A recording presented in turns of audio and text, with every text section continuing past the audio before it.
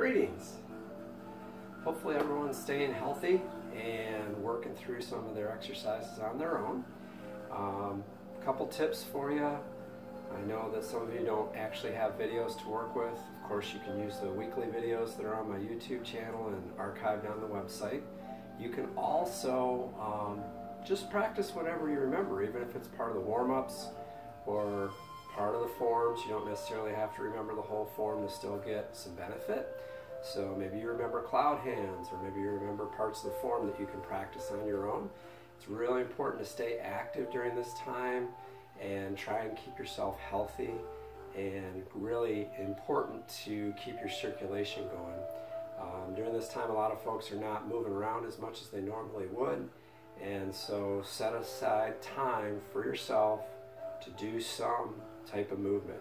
Whether it's Tai Chi, Qigong, taking a walk, all those things are really important, not only for your physical health, but your mental well-being too.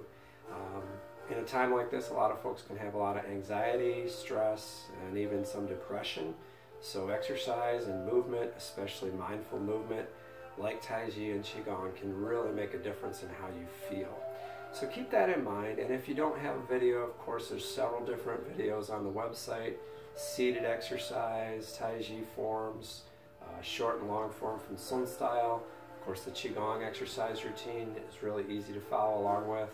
All those are downloadable, and even the canes or the stick routine, you can download that or get a DVD all the way uh, through the website. Either you can download it electronically, or if you prefer a DVD, I'll uh, send one out to you. If you want one, just send it through the website, and uh, we'll get it out to you as soon as the mail can get it to you.